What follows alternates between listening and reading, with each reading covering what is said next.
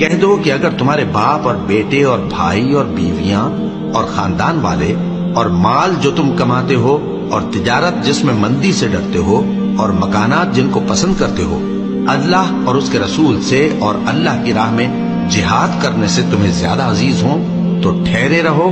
यहाँ तक कि अल्लाह अपना हुक्म यानी अजाब भेजे। और अल्लाह नाफरमान लोगों को हिदायत नहीं दिया करता।